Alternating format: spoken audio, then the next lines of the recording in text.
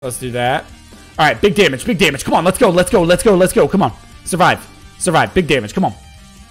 It'd be funny if he was whole tank. Nope, that's not to do it. That's not to do it either. Okay. All right, this kind of sucks. Okay. Yep, that hit's not to do it either. Oh, did I not switch my tracking? I thought optimal range, didn't I? All right, honestly, pod me, dude. That's it for this one. Pod, please. I left the optimal instead of uh, tracking speed.